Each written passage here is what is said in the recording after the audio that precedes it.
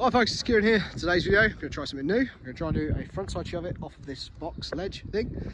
Uh, never done this before, never done a frontside shove it down anything, despite the fact I've been doing front shuvs for absolutely ages. Um, if you follow the channel, you might see my recent video where I was working on them in flat ground.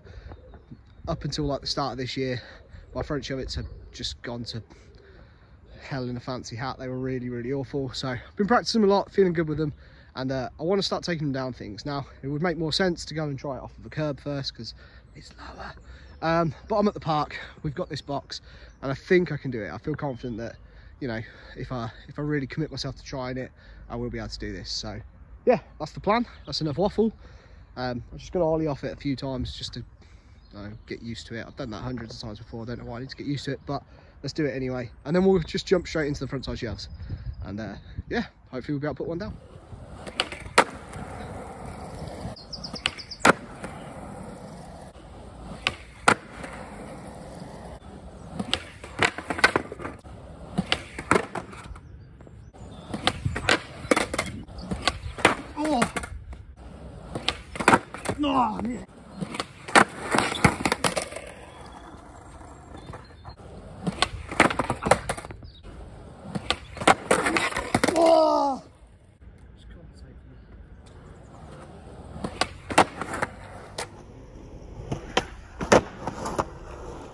That felt really good, really, really good. Happy with that. Um, that went down pretty quick. I figured it would go one way or the other. I would come quickly or I'd be battling it for ages. So stoked that it came pretty quickly.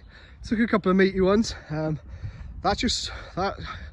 That's just from the fact that I don't jump down stuff very often, like at all, really. To be honest, I've only ever ollie or maybe do a front 180, and it's so rare that I actually jump off anything. Because um, when I'm landing, my my weight's kind of like in those weird positions that you get away with on flat ground, but just that little bit of height and momentum, and you just wash out on it. But whew, super, super stoked felt so good as well. Proper like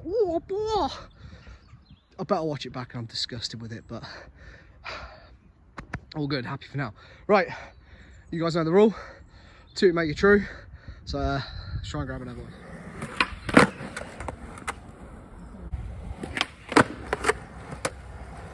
That one was ugly. Let's do it again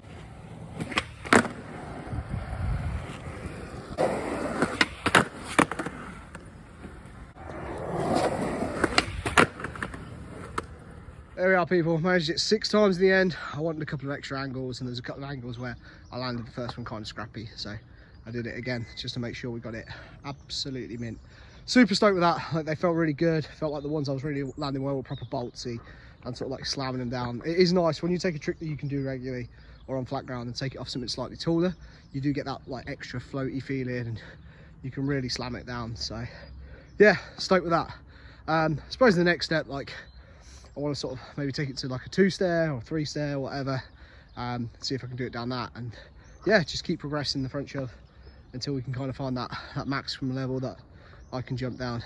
Um, the other thing is I'll come back to this block and do this again with some more tricks in the future. Um, there are other flat ground tricks that I'd like to take down stuff that I never have that we need to to come down and work on. So yeah all in all though super super stoked. I felt really good. I'm gonna try and make a point of every time i come down here trying to just do that like once or twice just to sort of like keep in the rhythm of it and just kind of get used to it. I'm gonna start treating this like jumping off this as part of my session not just as something that i do every now and again.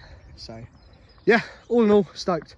Uh hope you guys enjoyed the video. Any tips comments thoughts leave it down below. I appreciate all of it.